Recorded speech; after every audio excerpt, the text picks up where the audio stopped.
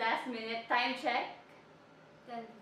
10.58 because napag-usapan lang namin kumanta bigla at ang usapan kasi up Dharma down. Pero ang nangyari, nagustuhan nila yung nobela so I had to kind of practice it for like 20 minutes and now we're here, we're all tired. Sino ba yung... Nasaan yung pick ko? Sis. Sis, ayun.